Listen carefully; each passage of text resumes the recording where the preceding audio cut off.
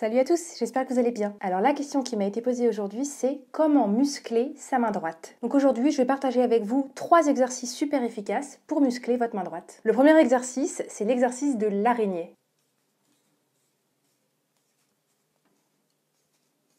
Cet exercice est super efficace. Si vous le faites une fois par jour, vous allez vraiment voir la différence. Par contre, au début, je vous conseille de le faire au-dessus d'un tapis ou d'un coussin au cas où votre archet tombe.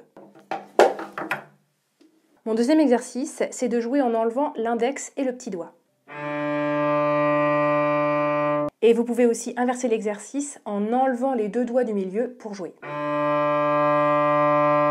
Celui-là aussi, il est super efficace. Vous pouvez travailler toutes vos gammes comme ça. Mon troisième exercice, c'est de travailler les changements de cordes en utilisant que les doigts. Si vous travaillez ces trois exercices régulièrement, vous verrez que très bientôt, votre main droite sera beaucoup plus musclée. J'espère que cette vidéo vous a été